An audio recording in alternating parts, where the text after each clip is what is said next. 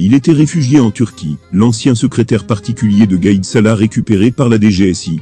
Qui est Zour Bouteflika, la sœur cadette du président déchu Les autorités algériennes ferment le port sec du fils de Gaïd Salah. Où est passée la coqueluche des médias Kamel Rozig L'Algérie réagit à la décision de l'Union européenne de fermer ses frontières.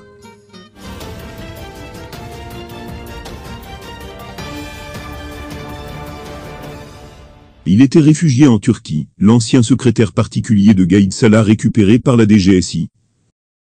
L'Algérie patriotique croit savoir que cette affaire fait partie de celles, nombreuses, pour lesquelles le général Ouassini Bouaza sera jugé par le tribunal militaire de Blida. L'ancien secrétaire particulier du défunt chef d'état-major de la NP, Ahmed Gaïd Salah, l'adjudant-chef Garmit Benouira, aurait été arrêté en Turquie et rapatrié en Algérie. Il serait entre les mains de la Direction générale de la sécurité intérieure, DGSI. C'est ce qu'a révélé le site d'information Algérie patriotique, ainsi que le journaliste et influenceur basé à Londres, Saïd Ben Sedira. Nous avons appris de sources concordantes que l'ancien secrétaire particulier de Gaïd Salah, qui était en fuite en Turquie, a été récupéré et rapatrié par des officiers de la Direction générale de la sécurité intérieure. Repéré par les services secrets algériens, Garmit Benouira se trouvait à Istanbul, où il bénéficierait de la protection des autorités turques, a indiqué, en effet, le média en ligne Algérie Patriotique, dans un article publié le 30 juillet. Le même média assure, selon nos sources, le rapatriement de ce sous-officier, qui a pu quitter le pays grâce à la complicité de l'ancien patron de la DGSI, Wassini Bouaza, actuellement en prison, et de l'ancien directeur des transmissions, Abdelkader Lachekem, limogé et faisant l'objet d'une interdiction de sortie du territoire national, s'est fait sur ordre du président de la République. Algérie patriotique affirme par ailleurs que Garmit Benouira négociait sa naturalisation contre des documents qu'il aurait subtilisés du coffre-fort de l'ancien vice-ministre de la Défense nationale.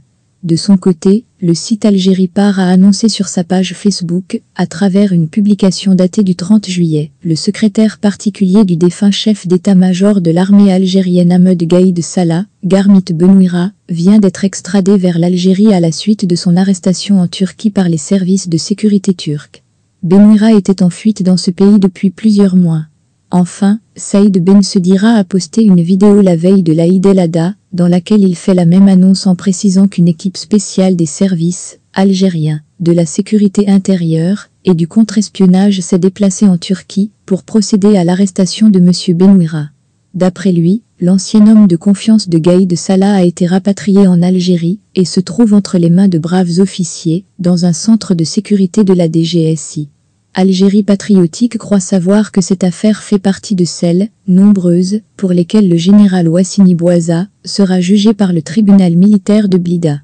Pour rappel, l'ex-patron de la DGSI a été arrêté le 13 avril 2020 et placé en détention à la prison militaire de Blida. Il a été condamné en première instance, le 23 juin dernier, à 8 ans de prison ferme. Prévu le 29 juillet, son procès en appel a été reporté au 12 août. Selon nos confrères d'Algérie patriotique, Garmit Benouira a quitté le territoire national, le 5 mars dernier, avec sa femme et ses deux enfants, via l'aéroport international Ouari Boumedienne d'Alger. Le même journal électronique affirme que cet adjudant-chef originaire de Tissemsilt, dans l'ouest du pays, faisait parler de lui en raison de l'influence anormale qu'il exerçait sur d'anciens hauts gradés de l'armée, aujourd'hui emprisonnés ou limogés, qui, pourtant, occupaient des fonctions autrement plus importantes que la sienne. Algérie, qui est Zor Bouteflika, la sœur cadette du président déchu? Malgré sa démission forcée par la rue, il y a plus d'une année, l'ancien président algérien Abdelaziz Bouteflika ne cesse de faire parler de lui. Le journal panafricain Jeune Afrique a mis la lumière, dans un long reportage paru mercredi 29 juillet, sur la relation fort intrigante entre l'ex-chef de l'État et sa sœur Zour. Durant les 20 ans de règne de Bouteflika sur l'Algérie, sa sœur a vécu dans son ombre, sans jamais le quitter. Depuis sa chute, elle l'accompagne jour et nuit dans sa nouvelle vie. Le journaliste algérien Farid Alilat, ancien directeur de la rédaction des quotidiens, Le Matin et Liberté, aujourd'hui journaliste à Jeune Afrique, fait de nouvelles révélations sur la vie de l'ex-président de l'Algérie. L'ancien président algérien Abdelaziz Bouteflika ne mange de ce que lui prépare sa sœur Zour, affirme-t-il. D'après lui, Zour Bouteflika a vécu dans l'ombre de son frère aîné sans jamais le quitter d'une semelle au cours des 20 années qu'il a passées à la présidence. Depuis sa démission forcée le 2 avril 2019, elle l'accompagne jour et nuit dans cette nouvelle vie, qui ressemble à une réclusion à perpétuité derrière les murs d'une résidence ultra protégée. Farid Alilat révèle qu'au sein de la grande fratrie des Bouteflika, composée de cinq garçons, Abdelaziz, Nasser, Mustapha, Abdelghani et Saïd, et deux filles, Latifa et Zour, cette dernière est la seule à cultiver un mystère absolu. Au point qu'il n'existe aucune photo d'elle. Jamais d'apparition publique, pas le début d'un commencement de déclaration. Inconnu du grand public, Zour aurait servi Bouteflika, avec le dévouement d'une religieuse de couvent, indique l'auteur de la biographie Bouteflika, l'histoire secrète. Dans son livre biographique, Farid Alilat fait découvrir les vies du président déchu Abdelaziz Bouteflika. Poussé par la curiosité du métier, le journaliste algérien a enquêté sur la vie de l'ex-président pour en découvrir plusieurs vies. Des vies qu'il a relatées dans son livre Bouteflika, l'histoire secrète, paru en février. Les autorités algériennes ferment le port sec du fils du défunt Gaï Salah à Annaba. À Annaba, le port sec de l'un des fils du défunt chef d'état-major de la NP, Ahmed Gaïd Salah, en l'occurrence Adel Gaïd Salah, a été fermé temporairement par les autorités algériennes, rapporte Algérie par au cours de ses investigations. C'est le deuxième plus important port sec de la ville d'Annaba, Adel Gaïd Salah a fait l'objet d'une suspension d'une durée de 60 jours pendant lesquels son port sec ne doit en aucun cas poursuivre ses activités commerciales. Le port sec appartenant à Adel Gaïd Salah à Annaba est géré officiellement par la SARL PSDA, dans laquelle un autre fils de Gaïd Salah, à savoir Boumedien Ahmed Gaïd, est actionnaire. Cette suspension s'explique, selon Algérie Par, par l'absence de scanner mobile au niveau ce port sec ce qui constitue un manquement à la réglementation nationale, et la levée de cette suspension temporaire est conditionnée par la régularisation de ce manquement. À ce titre, Adel de Salah dispose d'un délai de deux mois, afin de se conformer à cette exigence en dotant son port sec d'un scanner de conteneur équipé d'un système de radiographie performant. Le coût de ce scanner peut avoisiner les 15 milliards de centimes, estiment nos sources. Signalons enfin que dix autres ports secs ont été fermés à travers le pays. À Annaba, le deuxième port sec appartenant à la Sar Lavicomar a été fermé. Derrière ce port sec, on retrouve le fils de Mohamed Abdou Bouderbala, directeur général des douanes algériennes. Les autres ports secs concernés par cette suspension se situent à Alger, Blida, Constantine, Sétif et Oran. À Blida, trois ports secs sont visés par la suspension décidée par les douanes. Il s'agit de Sarl Terport, Sarl Sud Entrepôt et Auxiliaire 2, Sarl Yanis Port Sec. Trois autres ports secs sont concernés par la mesure de suspension des transferts des marchandises. Il s'agit du port sec de Constantine relevant de l'entreprise portuaire de Skikda, EPS, celui de Sétif qui dépend de l'entreprise portuaire de Béjaïa, Tixté, et enfin, Sarl Catram Logistique à Oran.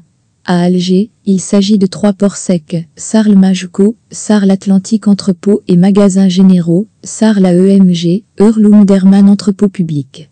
Signalons en dernier lieu que cette suspension a été décidée le 21 juillet sur ordre du directeur général des douanes algériennes, Noureddin Kaldi. Gouvernement. Mais où est donc passée la coqueluche des médias Kamel Rozig Très présent sur les médias audiovisuels et les réseaux sociaux en début d'année, le ministre du Commerce, Kamel Rezig, se fait très discret depuis quelques semaines déjà, notamment après que ses déclarations tonitruantes sur nombre de réformes aient vraisemblablement fait pchit. Même si cela ne remet pas en question son engagement et sa volonté à marquer de son empreinte son passage à El Mouradia, force est de constater que l'apprentissage politique du plus populaire ministre, parmi les membres du gouvernement de Jurad, se fait plus coriace que prévu. Alternant la rhétorique du clash et l'argumentation ad hominem, Kamel Rezig reste l'un des rares ministres de la formation gouvernementale actuelle à avoir fait de la communication des effets d'annonce un programme politique. Grâce à un style offensif et un savant mélange de populisme, de chauvinisme voire parfois de paternalisme, ses sorties quasi quotidiennes sur le terrain, dans les marchés de gros de fruits et légumes par exemple, ont donné lieu à des scènes ahurissantes auxquelles se mêlent esclandres et joutes verbales que les citoyens algériens ont peu appréhendé. Très vite, les coups de gueule et autres remontrances du ministre sont devenus des scènes cultes sur les réseaux sociaux et les chaînes de télévision adeptes de sensationnel. Malheureusement, les batailles promises par Rezig se sont souvent arrêtées au branle-bas de combat. Mais comme il faut toujours rendre à César ce qui lui appartient, il faut reconnaître que le jeune responsable a su, en si peu de temps, démystifier un portefeuille ministériel, resté jusque-là confiné dans une forme de solennité institutionnelle, lui ayant ôté le caractère citoyen, dont il est l'apanage dans de nombreux pays. Comme s'il était investi d'une mission, Kamel Rezig parvient à vaincre le signe indien et n'hésite pas à bousculer tous les codes préétablis de la communication d'État. Qu'importe, il veut montrer qu'il tient le taureau par les cornes. De ce constat sont nés deux cas de figure, particulièrement frappants, qui illustrent à merveille comment la stratégie Rezig s'est peu à peu perdue dans les méandres de vie politique algérienne. D'abord, la crise du lait. Souvenez-vous-en.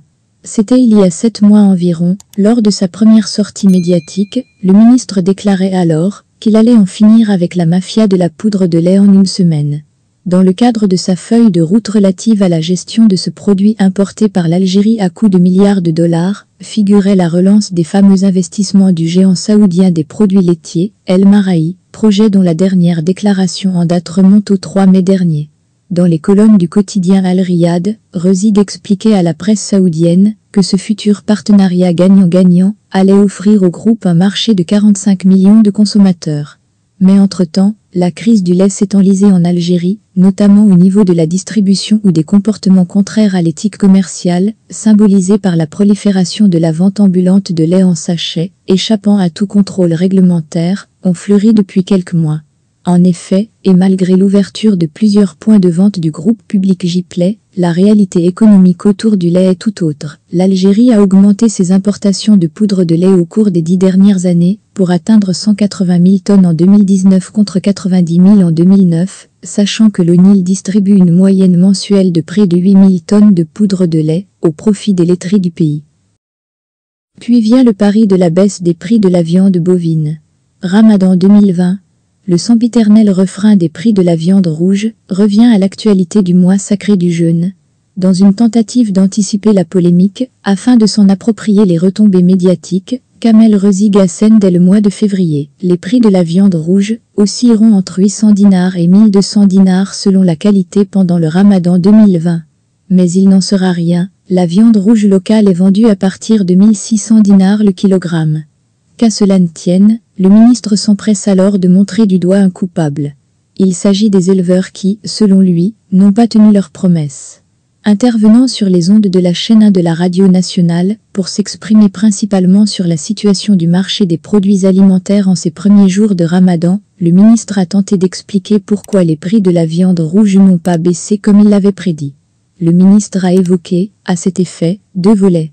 D'un côté, il y aurait les éleveurs et maquignons, qui n'ont pas respecté leur engagement, non écrit, a-t-il précisé, et de l'autre, la crise sanitaire liée à la propagation du coronavirus qui a empêché le ministère de poursuivre, comme il se doit, la feuille de route qu'il s'est tracée. On avait affirmé que si la production nationale suffisait, on n'avait pas besoin d'importer. En se réunissant avec les éleveurs, ils nous ont assuré que la production locale suffisait à satisfaire la demande. On s'était entendu sur la nécessité d'établir, du moins pour Ramadan, un prix abordable, a déclaré Kamel Rezig, qui a rappelé que pourtant ces derniers reçoivent beaucoup d'aide de l'État.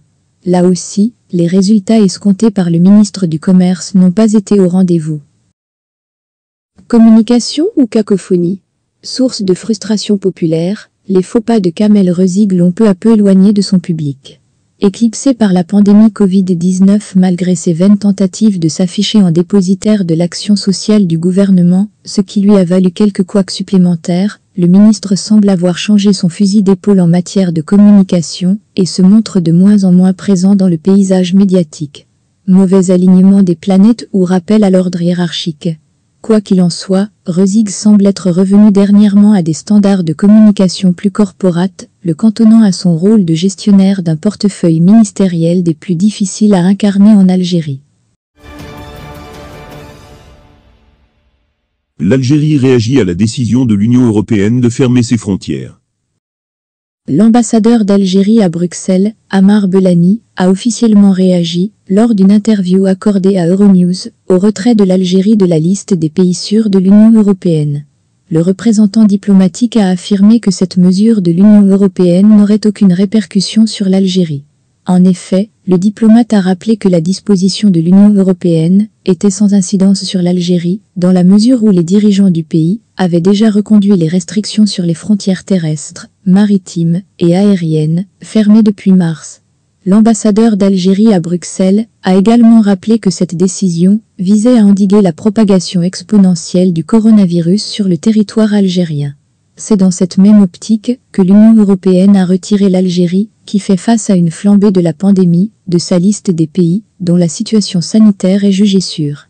Il y a lieu de signaler que l'Algérie est le premier pays d'Afrique du Nord ayant été retiré de la liste des pays sûrs, établie par le Conseil de l'Union européenne et mise à jour régulièrement en fonction de l'évolution de la situation sanitaire dans le monde. Désormais, plus que 12 pays sont considérés comme étant sûrs et dont les ressortissants peuvent accéder à l'espace Schengen. Parmi ces États figurent la Tunisie, le Maroc, l'Australie, le Canada, la Nouvelle-Zélande, le Japon, la Corée du Sud, la Thaïlande, la Géorgie, le Rwanda et l'Uruguay.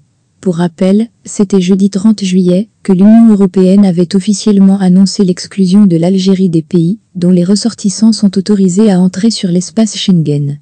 Le Conseil de l'Union européenne a motivé cette décision par la propagation alarmante de la pandémie de coronavirus en Algérie.